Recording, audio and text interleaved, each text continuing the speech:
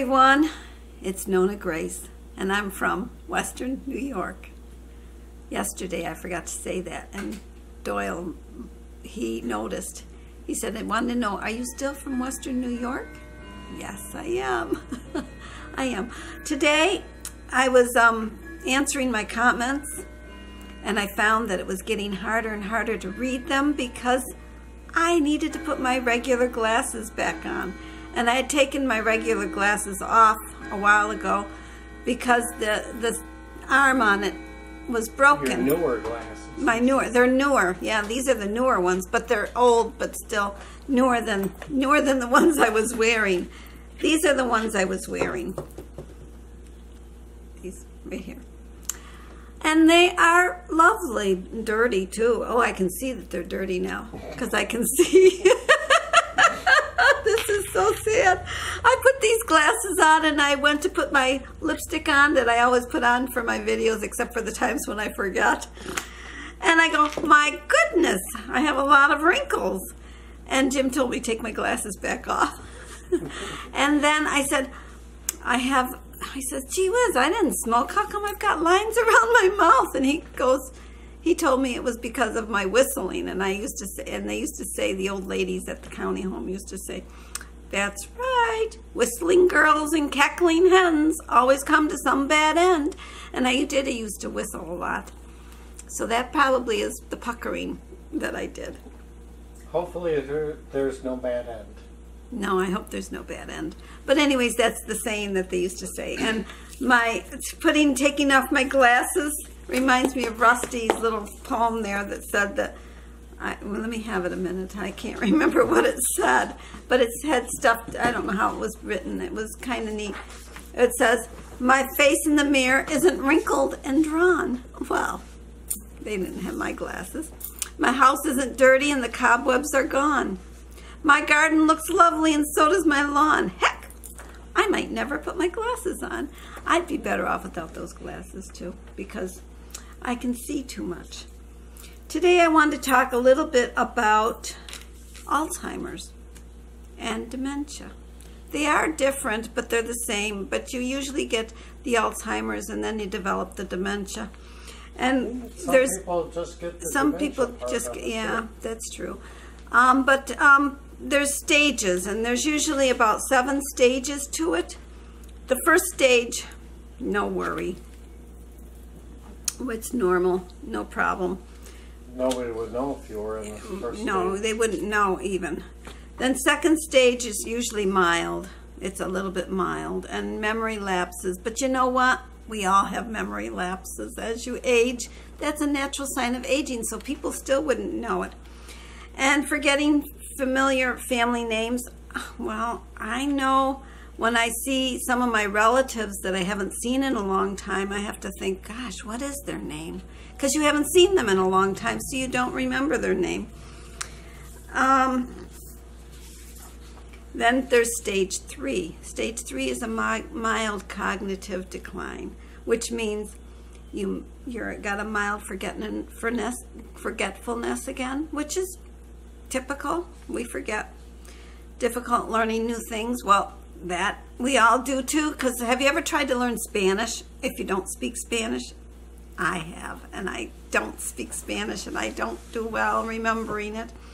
If you put it in a song, I might remember it Or anything new, not just anything yeah language, and, could yeah you could be anything you could be learning to do like people that have learned tried to learn to crochet and just can't do it or knit and they just can't do it or maybe carve. Like have you ever seen those chains where the guy's wood carving is and they're linked and they're all linked together but it's all solid wood?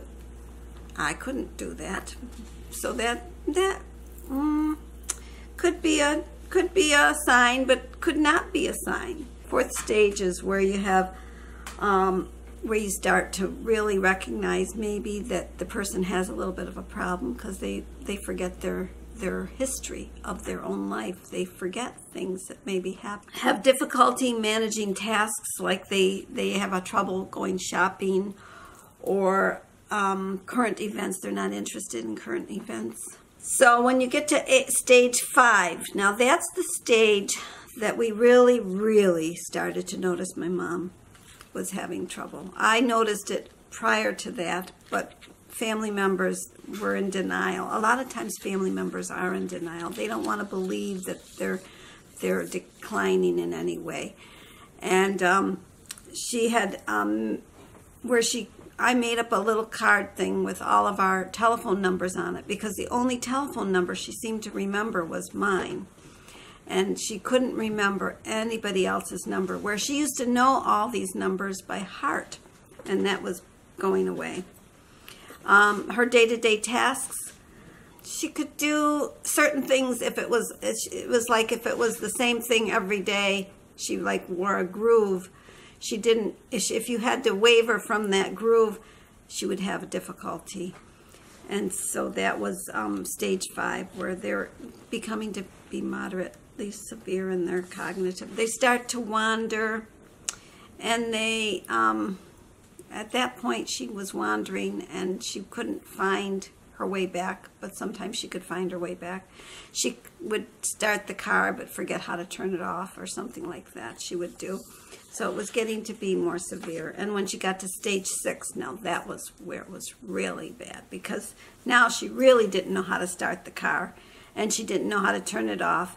And so that was when she stopped driving. And it took, actually, it took us to have a police officer come to the house. She had was driving one day and she went and she cut in front of a young driver that was learning to drive. And the sad part is that's the same house she ended up at, thinking it was my house, because she got lost one time. She drove past my house.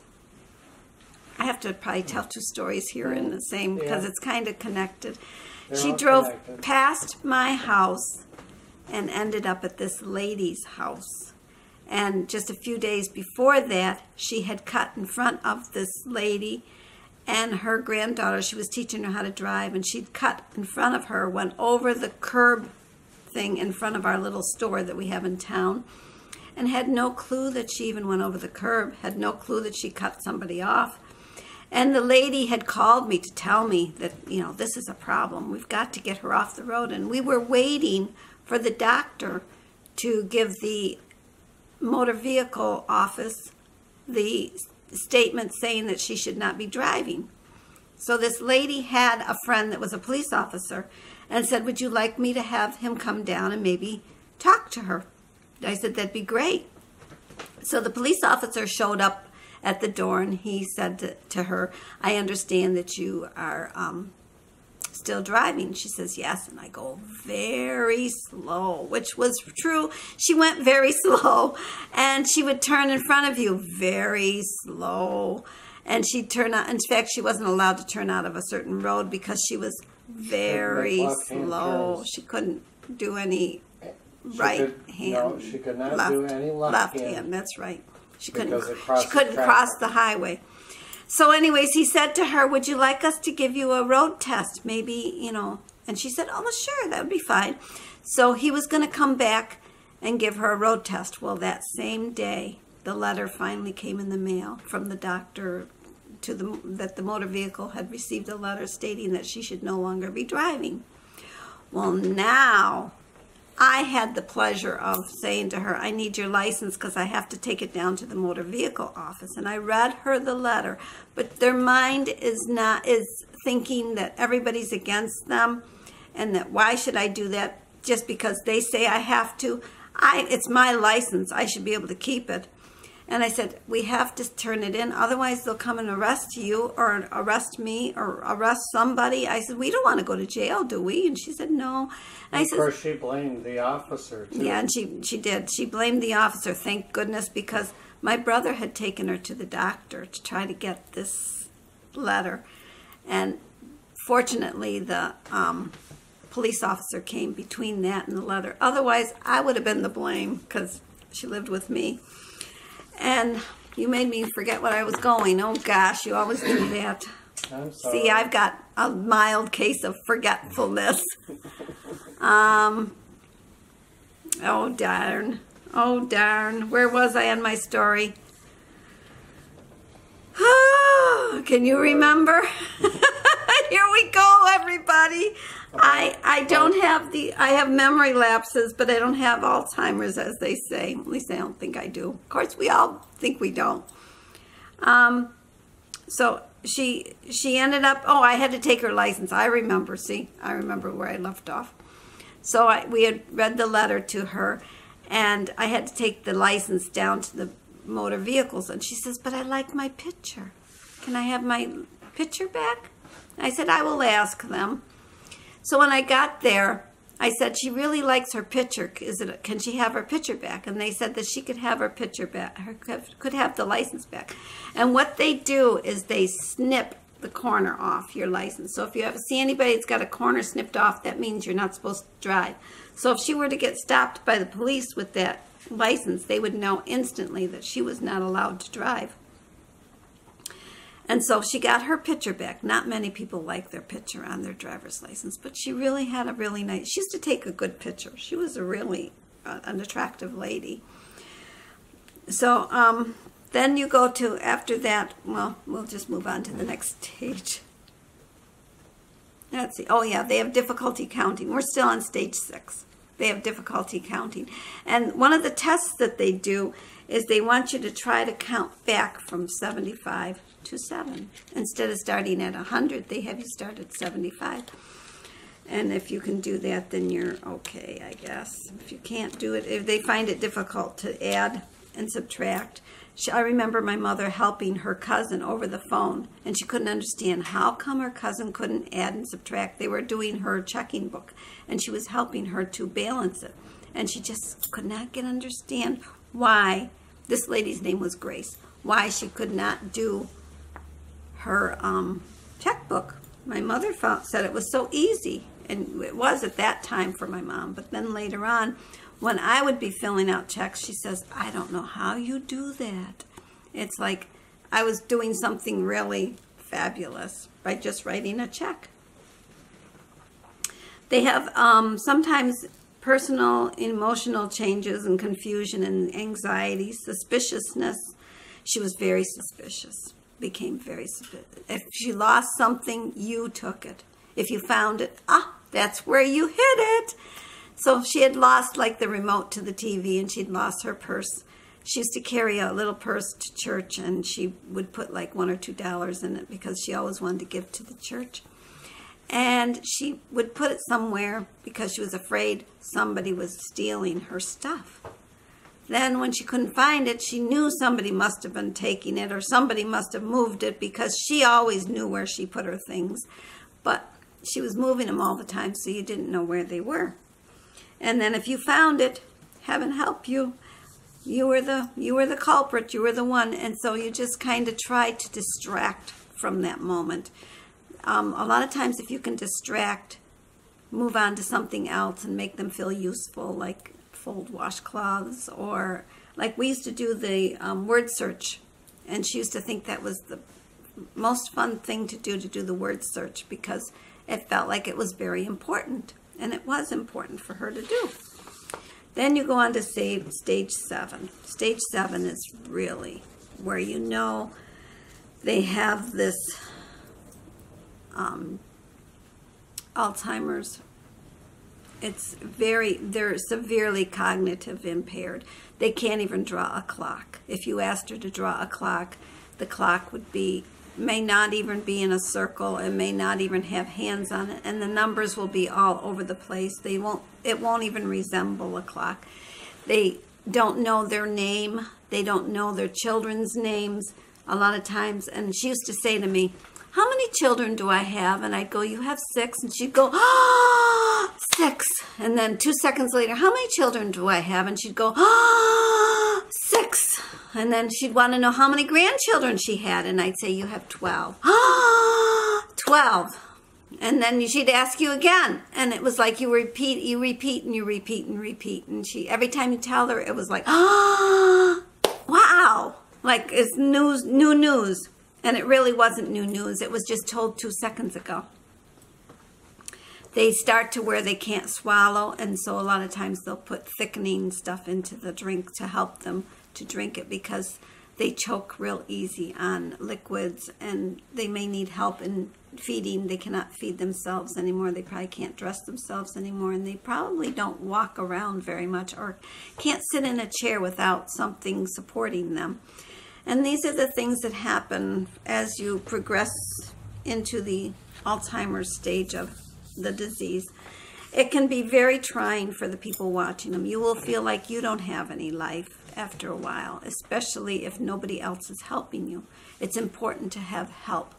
And I found that even though I'm a family of six kids, there was a family of eight total, but six kids, they might come around for an hour and then that hour was just enough to disturb her so that I'd be called at two o'clock in the morning and she would want me to come down and discuss something that was eating at her. And I'd say, It's the middle of the night. And she goes, It is not. It's two o'clock in the morning. It's morning. So I'd have to go down. And then the next day I would go to work. And um, we also had where she'd say, Nobody ever visits me. And um, so we ended up giving her a notebook that everybody, when they visited, would write in it, and a board that you'd write on the board stating that you were there and this and what time you were there, so that she could we could say, no, looks like somebody came. They wrote their name on the board.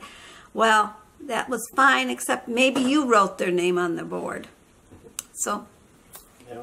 but it was it was difficult, and I remember the day She was like in stage, um, the later stage of five, going into six, where it was really very hazardous to keep her here at home because she would wander and she'd forget how to get back home.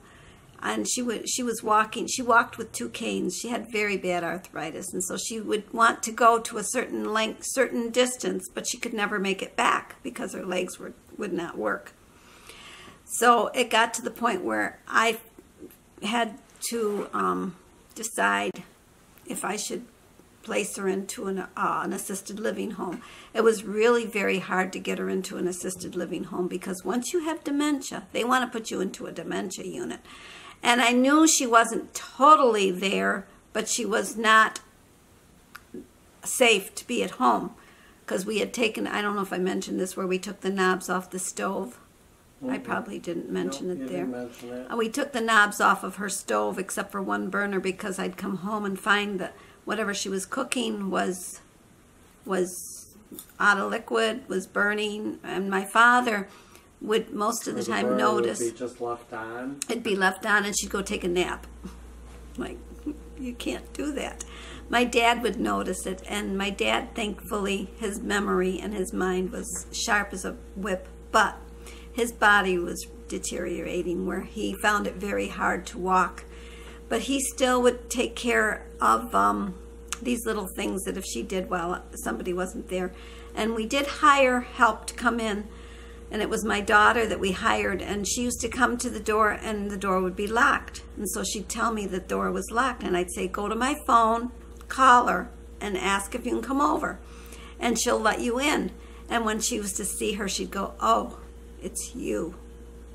Because she really was thinking it could be a total stranger or somebody else that she wanted to visit with not somebody that was going to sit there and talk to her and make sure she it was like she was being babysat and she kind of knew she was being babysat. Um i don't know if i thought of anything else. If i think of anything else i will add it in another video. This was not an uh, happy peppy go lucky video but it was an important one and i did mention a little bit about you need help whereas my family oh when it came time to move her i will go back to that oh, excuse me. When it came time to move her, I had two of them that were in favor and three of them were against. No, three of them were a favor and two of them were against. Excuse oh. me. I had two that said that I should not do that, cannot do that. And I said, well, then you take her home. And they go, we can't do that. She'll get into our stuff, which is true. She would. And their their spouse would not even tolerate it. And it's like, and mine is, I got to the point where when you're when you're taking care of somebody, you're you're on edge all the time too. And I got to the point where I could hear this thump, shush, thump, shush, And that what it was is her feet walking and her canes, her canes thumping, and her feet sliding because she really didn't pick her feet up. And I, Shuffled. she'd shuffle, yeah. And I used to say to Jim, "Is she coming?" And he'd go, "No, there's nobody there." So after a while, my mind was thinking she was coming because I was always on call, constant with her. And the others, really, they came, but very little. They Your- came very little. Very. Children did more than My own sometimes- children. I had my when we wanted to go camping, my son would stay here with them. And um, the one time I called my brothers to come because I was afraid she'd follow us out of the driveway. So they had to stay here until we left to make sure that she made it back into the house. And um, my son stayed with her. And that was the way it was. So if you can get help, all the better. So that's it for tonight. And if somebody else needs What? help, help. Help, yeah. Don't don't don't think it's just because they are the one that's the main caretaker. That main caretaker needs a break every now and then too. So and it would be nice to give them the break. So we'll talk to you again tomorrow. Have a great night. I'll see you then. Bye.